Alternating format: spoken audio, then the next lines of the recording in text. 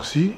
Euh, bien que je n'ai pas eu la chance cette fois-ci d'être euh, euh, parmi mes frères, mes collègues qui ont participé activement au jeu, je ne pouvais pas rester chez moi indéfiniment sans venir dire félicitations à M. Isidore Kwanza, qui a mené de main de maître, comme un grand maître, comme un orfèvre, ces jeux. Nous sommes fiers, tous les Congolais, de la réussite magnifique des jeux.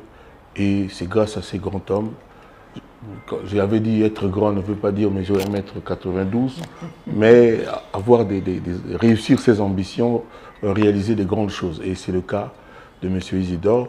Moi, je demande à tous les Congolais, partout où ils sont, dans leur maison, d'applaudir pour ce monsieur, parce que enfin notre Congo est restauré, le Congo est de retour, le Congo est de nouveau respecté. À travers lui, je dis aussi bravo et merci à son Excellence, le Père de la Nation, euh, M. Antoine Félix Tshisekedi, Ferti Béton. Donc vraiment bravo, Excellence.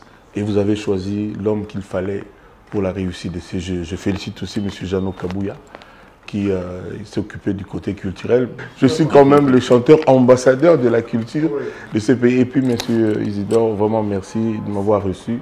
Merci à vous. Je suis vraiment honoré. Je, dirais à mes fans euh, que vous êtes un, homme de cœur, un homme bien. Je suis vraiment très honoré très très honoré euh, que mon grand frère, le plus grand musicien que nous avons dans ce pays, qui fait la fierté de notre pays sur la scène internationale, qui soit venu ici à mon bureau, euh, c'était un honneur pour moi. Et j'ai voulu faire amende honorable parce que dans la préparation, on a, on a commis l'impair de ne l'avoir pas avec nous. Je pense qu'on a voulu se rattraper et nous sommes en train de réfléchir à quelque chose que nous pouvons faire parce que les jets sont bien évidemment finis, mais il y a un projet qui a été préparé derrière euh, ces jets et qui doit se réaliser après les jets. Et vous savez, le président de la République euh, s'est investi dans l'organisation de ces jets de la francophonie, a construit des infrastructures et je suis vraiment disposé à travailler avec euh, M. Kofi Olomide pour que nous puissions valoriser ces investissements qui ont été faits pour la jeunesse congolaise. Vous savez, il travaille beaucoup pour la jeunesse congolaise et ces, infrastructures-là vont, de ces infrastructures, nous allons avoir des petits champions. Et nous voulons vraiment aujourd'hui que le monde voie qu'est-ce qui a été fait pendant les mandats du président euh, Félix Tshisekedi.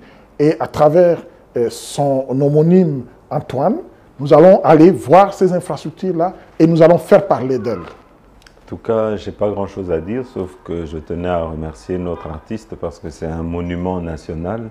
Et euh, je crois que sa présence ici est en train de montrer qu'il euh, reconnaît et euh, le succès qu'a eu ces Jeux de la francophonie.